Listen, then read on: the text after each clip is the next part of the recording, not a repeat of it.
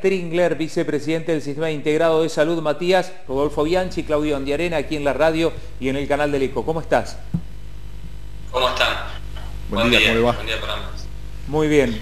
Bueno, queriendo saber un poco, Matías, cómo está la situación eh, en Tandil. En principio, digamos, a, grosso modo podemos decir, o sentimos que está bien, pero ¿qué percepción tienen ustedes desde el Sistema Integrado de, de Salud y cuáles son los temores, obviamente, no? Sí, en, realidad sabemos que, la situación actual, que obviamente es buena, eh, depende siempre de, factores que tienen que ver con el cuidado y con la responsabilidad que podamos tener eh, todos, porque bueno, a esta altura de las circunstancias creo que todos sabemos cómo, nos tenemos que cuidar y cuáles son los riesgos eh, para que tengamos algún problema con, con el COVID. Eh, sabemos que si nos, cuidamos entre todos y tenemos responsabilidad en cuanto a, realizar la cuarentena, si estamos en, zonas, si venimos de zonas de transmisión si vamos a viajar, eh, eh, si nos vamos a juntar, estas famosas reuniones sociales que hemos podido tener, que no sean con ninguna persona que haya podido estar en, en una ciudad con transmisión o una ciudad con brote epidémico activo, entonces eh, creemos que es, posible, la gente entendió bastante como creo que la, conducta en general ha sido y es buena. Eh, así que bueno, tenemos la, tranquilidad de estar hoy con esta situación y de saber que bueno, siempre estamos en fase de mitigación. Si nos, ocurre que, encontramos un caso, salir a buscar los contactos y tratar de, frenar toda la transmisión algo parecido a lo que pasó en Necochea, que ya pasaron más de 15 días y no registrado nuevos casos, así que estamos muy atentos a eso, a que cuando nos toque trabajar en, los testeos eh, seamos muy, digamos, muy agresivos en la búsqueda de los contactos y, poder testear con mayor facilidad por, el convenio que tenemos con la universidad, creo que también es una herramienta eh, que nos da tranquilidad. En lo que tiene que ver justamente con la conciencia de la gente, cómo la vienen observando ahora, hay una especie de relajamiento, habría, podemos llegar a decir... Bien, a ver, ahora sí seguramente vamos a mejorar. Bueno, la consulta apuntaba justamente a ver si en el último tiempo se ha observado una especie de relajamiento que pueda llegar a ser peligroso en lo que es la conducta de la gente.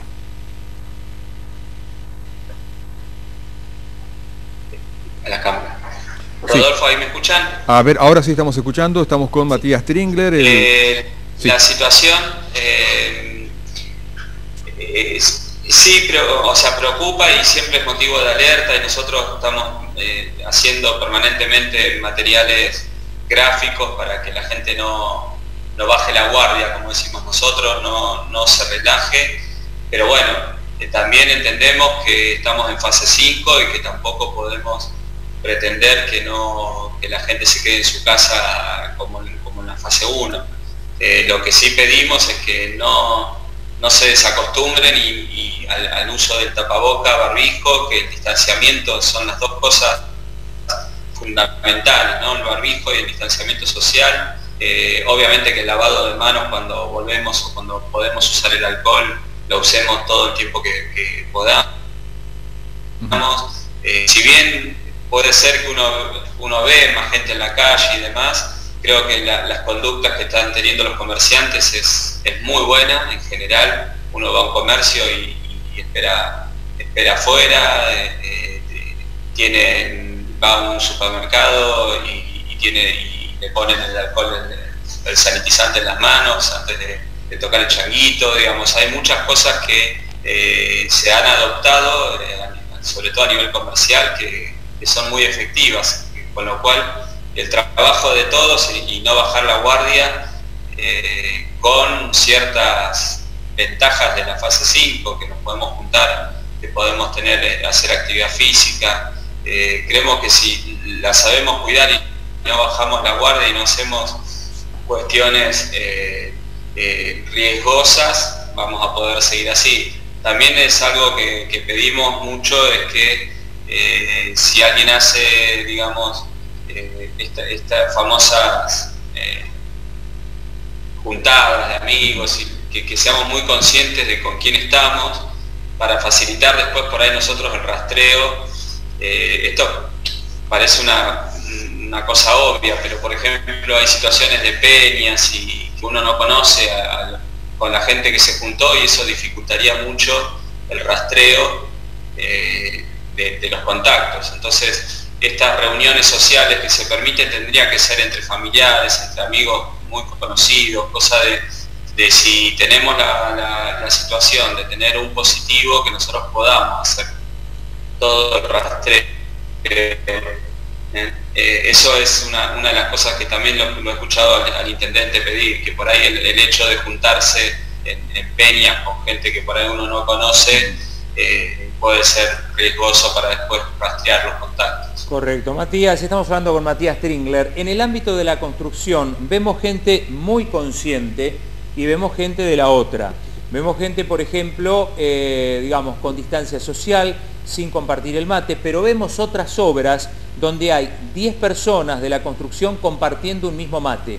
Esto lo, lo vemos simplemente recorriendo un poco, eh, recorriendo Tandil. Eh, ustedes están al tanto de esto, sé que es difícil, no se puede controlar todo, pero digamos, aquí hay, hay también un riesgo, ¿verdad? Sí, sí, por supuesto, y de hecho eh, no solo la, gente de la construcción, también hemos visto gente en la plaza. La verdad que no es la mayoría, la mayoría entiende que el mate eh, es, un riesgo, lógicamente.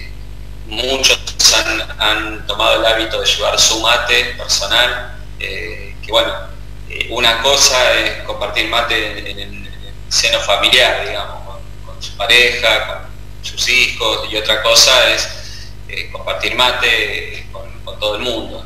Yo creo que ese hábito es riesgoso, eso tenemos que, eh, cada vez que podemos, y, ustedes, sobre todo los medios de comunicación, que son una gran ayuda para estas situaciones, avisar que, bueno, que, que es riesgoso y que Hoy tenemos una situación de que no tenemos circulación viral, eh, pero eh, eso no significa que tengamos que tener conductas riesgosas, porque la situación hoy es la que podemos hablar para atrás, digamos. Hasta hoy podemos decir no hubo circulación viral, si se quiere eh, estamos bastante seguros, pero lo que está pasando hoy, lo que va a pasar dentro de 15 días, eso no lo sabemos, o sea que eh, cualquiera de nosotros puede estar con, alguien que tiene, que tiene COVID positivo y que no lo sabe, eh, y tomar mate es, una situación muy contagiosa. Eh, imagínense que si el virus solamente contagia con gotitas de flush, el hecho de tomar mate es básicamente uno de los contactos más riesgosos. Correcto. Estamos conversando con Matías Tringler, vicepresidente del Sistema Integrado de Salud. No sabemos lo que se viene para dentro de 15 días, dijo en algún momento. Eh, ¿Cómo está Tandil preparado para un caso de eventual emergencia, considerando justamente que todos los medios indican que el pico se viene a nivel país? Digamos, Tandil, ¿cómo puede llegar a responder en caso de tener que hacerlo? Bueno, eh, nosotros tomamos las primeras semanas con teníamos un una proyección muy agresiva de, lo que era el, el contagio y lo que podía suceder en la ciudad, eh, con lo cual las primeras semanas, el primer mes fue de mucho, mucho trabajo, preparándonos justamente para eh, tener el sistema con, aumentar la capacidad, sobre todo de las camas críticas. Eh, hoy en día, con casi 90 días de esa situación, eh, nosotros sabemos que podemos, podemos duplicar la, cantidad de camas de terapia en el hospital, eh, que tenemos buena coordinación con los privados, que tenemos camas extrahospitalarias, eh, que tenemos sectorizado el, hospital para, manejarnos con, la máxima protección hacia el personal, con áreas para internación de COVID y áreas que no, con los equipos de protección eh, comprados. Esto en las, primeras semanas fue muy estresante no poder conseguir los barbijos necesarios, los camisolines necesarios, las máscaras. Hoy creo que bueno, tenemos stock de, equipos de protección personal, eh, tenemos, sabemos que podemos duplicar las camas con solamente eh, organizarlo, así que bueno, esperemos no tener que, llegar de nuevo a preparar todo esto porque bueno, lo que ha pasado en Necochea y lo que un poco está pasando en, Olavarría nos da el ejemplo de que en una ciudad donde todavía no ha habido circulación viral, eh, el hecho de, que aparezca un caso nos hace trabajar y, es posible mitigar el foco, con lo cual eh, esta, cuestión de saturación del sistema requiere de que haya circulación viral. Y la verdad que eh, por suerte estamos, estamos lejos, salvo que tengamos una catástrofe en cuanto a muchos focos al mismo tiempo de contagio. nosotros creemos que primero tenemos que pasar esta fase de lucha ante un caso positivo, como le ha pasado con las ciudades vecinas de, de Olavarría y Necochea, que están trabajando muy bien en la mitigación. Estamos hablando con el doctor Matías Tringler, vicepresidente del Sistema Integrado de, Salud. Matías, eh, hoy por hoy, ¿en qué porcentaje de ocupación están las camas? Tanto el UTI de lo que es terapia intensiva, eh, lo que es em, las camas en general del Hospital Ramón Santa Marina y lo que es el Hospital de Niños. Obviamente por patologías bueno, relacionadas con, la época, algún tipo de accidente. ¿Cómo estamos en ese sentido hoy? Sí, es, muy fluctuante, cambia, te diría que, día a día. Te digo porque han, digamos, con todas las, medidas de protección que, que, están, que estamos viendo a nivel de, ciudadanía, la verdad que estamos en un invierno bastante atípico, hay, menos casos eh, de otras enfermedades respiratorias que por ahí requerían terapia en su momento, pero por otro lado el hospital está eh, recobrando su, ritmo habitual, sobre todo en las cirugías. Entonces eh, las cirugías y sobre todo cirugías traumatológicas en, en personas mayores o con riesgo generalmente requiere camas de terapia hemos, digamos, nosotros estamos hoy trabajando con la terapia habitual, con las, siete camas barra 8 si la necesitamos del piso del, tercer piso del hospital. Eh, tenemos lo que sería el backup de eh, otras ocho camas en el sector de cardiología que no están en funcionamiento porque no hemos tenido la necesidad eh, pero bueno, hay días que llegamos a una, utilización de camas casi al 100% de las camas de siempre, ¿no? Siempre están libres las camas que nosotros creamos para la mitigación, digamos, o para, el tratamiento de los pacientes graves con COVID. Eh, con lo cual no estamos tan preocupados con, la saturación de las camas actuales porque eso lo podemos, sabemos que nosotros podemos preparar las camas de terapia que teníamos para, pensado para el coronavirus. Eh, entonces no estamos limitando el uso de la terapia habitual. Las cirugías que se, eh, están haciendo ha bajado, eh, pero bueno, hemos tenido últimamente casos también de accidentes de tránsito. y bueno, repito que nosotros no estamos manejando, digamos, con cautela el uso de las camas de terapia de ahora porque sabemos que en caso de necesidad no es que tengamos que derivar los pacientes internados, sino que tenemos que eh, ampliar y ocupar las camas de terapia adicionales que habíamos formado. ¿Qué se prevé en lo que tiene que ver con las enfermedades invernales, considerando justamente que, bueno, para el próximo fin de semana se prevé, bueno, eh, días muy fríos, eh, la gente, como usted marcaba hace algún rato, debe esperar a la intemperie en los comercios para poder ingresar y todo eso. ¿Esto puede llegar a tener alguna influencia para los próximos días? en general, los, más allá del, frío, lo que las enfermedades eh, del invierno son eh, generalmente virusicas y con lo cual eh, atienden a las mismas situaciones de contagio que, el coronavirus. Entonces, más allá del frío que genera algunas condiciones fisiológicas como aumento de secreción y, y algunas cuestiones que tienen que ver con la protección respiratoria, todos los años la, gente se enferma de gripe y demás por no lavarse las manos, por tener un, tener un contacto estrecho con gente que tiene síntomas, con, eh, con cosas que hoy en día nos estamos cuidando un montón.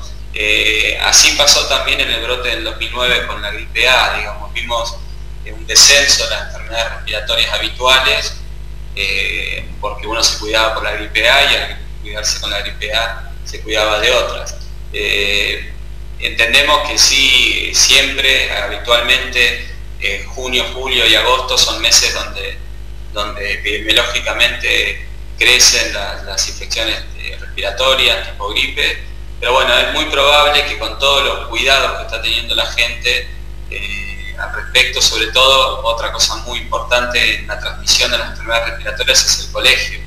Los chicos en estos casos suelen ser digamos, transmisores de, enfermedades respiratorias a sus padres y demás. Y de hecho, por eso está, así está pensada las vacaciones de invierno en, la semana epidemiológica más, más importante de los contagios. Así que bueno, son, eh, yo creo que los factores de cómo nos estamos cuidando por el COVID y el hecho de la suspensión de las clases hasta el momento eh, deberían hacer bajar la cantidad de casos de infecciones respiratorias. Eh, pero bueno, los virus ya sabemos que nos hacen no resistir mucho archivo, siempre son es lo que suponemos, lo que vemos, pero bueno, esperaremos a ver cómo se van desatando las cosas y, estar a la altura. Bien, Matías, dos preguntas en una. Primero, ¿cuáles son los requisitos para que una persona se haga un hisopado? Es decir, para que el Sistema Integrado de Salud eh, indique la realización del hisopado. ¿Qué requisitos tiene que cumplir? Y la otra, si eh, todavía quedan reactivos, teniendo en cuenta que la primera compra del municipio para el laboratorio de veterinaria creo que había sido 160, corregime si me equivoco, ¿cómo estamos en ese sentido? te contesto esta primero y después vamos con la otra que es un poquito más, más larga. Bien. Nosotros, creo que hará más o menos un mes, ampliamos uno de los reactivos, porque el reactivo no es, eh, son varias, varios componentes nosotros comprando un componente más, eh, hicimos que esos 160 iniciales se fueran a 500 eh, ah, determinaciones. Eh, hoy estamos usando parte de esas 500 determinaciones, iremos más o menos 250 ya, ya realizadas y ya estamos, el, el, convenio prevé la compra de más reactivos, así que ya estamos viendo cuál de, los reactivos nos amplían eh, otras, otras 200, creo, determinaciones más. Eh, así que bueno, estamos bien al, ritmo, al ritmo de testeos que estamos teniendo, eh, estamos bien y siempre contamos con, el Instituto Nacional de Epidemiología, el INE de Mar del Plata, ¿no? vamos administrando las, los testeos con ellos también. Eh, y el tema, bueno, de cómo testear el sistema de salud, eh, nosotros la base del control epidemiológico es la que nos da el Ministerio de Salud de la Nación. Eh, se testean a personas en, ciudades donde no hay circulación comunitaria como la nuestra, se testean personas con síntomas respiratorios que hayan estado en contacto en los últimos 15 días con una, en una ciudad con circulación comunitaria se testea eh, personal de salud, aunque no haya estado, personal de salud con síntomas respiratorios o fiebre, se testea eh, sí o sí, aunque no haya tenido lo que se dice epidemiología. Eh, después hay una nueva, digamos, determinación que se hace cuando los pacientes tienen una neumonía y requiere internación. ¿sí? Esas son la mayoría que estamos realizando eh, ahora también. Y hay una nueva, un nuevo, digamos, en el protocolo, un nuevo caso sospechoso que es cuando eh, en barrios populares. Tenemos determinado cuáles son los barrios eh, populares en, Tandil, entonces dos síntomas, aunque no sean fiebre, dos síntomas en una persona que vive en una situación, digamos, eh, de barrio popular o, tiene hacinamiento en su casa, eh, también se está, se está testeando. Esto no tanto por el riesgo de que realmente sea, sino por el riesgo de que el contagio sea eh, muy, muy fácil y muy rápido. Correcto. Matías, con respecto a barrios populares aquí en la ciudad de Tandil, ¿qué cantidad de testeos se han hecho y cuáles son aquellos síntomas de los cuales con dos solamente ustedes ya indican el hisopado? Bueno, eh, tanto Desarrollo Social, la Secretaría de Desarrollo Social como eh, la Dirección de Salud Comunitaria están actualmente, hace unos 15 días, haciendo un relevamiento casa por casa en los barrios populares, eh, no solo con, eh, tomando temperatura, haciendo desde el, dolor, eh, sino también tomando ciertos, relevando ciertos parámetros sociales que a nosotros nos permita tener un diagnóstico en cuanto a cantidad, por ejemplo, de camas extrahospitalarias que necesitemos si hay que aislar personas dentro del domicilio, algo digamos con el mismo alineamiento de lo que se está haciendo en Cava y, en provincia con respecto a los barrios populares. Eh, no tengo el dato, el número exacto de cuánto hemos testeado, pero ya han sido por lo menos, eh, yo creo que entre 5 y 10 eh, personas las últimas dos semanas han tenido que ver con, el relevamiento de, este, este, de, esta visita casa por casa.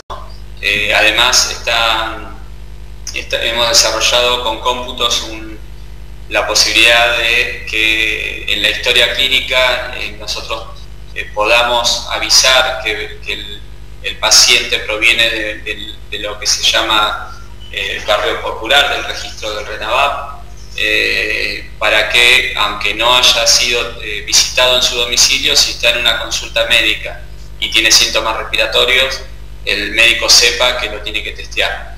Eh, porque entra en lo que es la definición de caso. Así que sí, hemos tenido más de 5, menos de 10 seguros eh, con esta metodología, por suerte todos, negativos.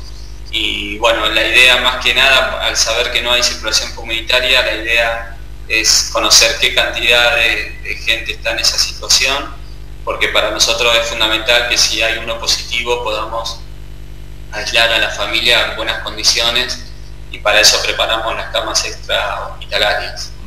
De los puestos eh, sanitarios de la ruta, ¿ha sido derivada gente que haya tenido que haber pasado por algún tipo de mm, testeo?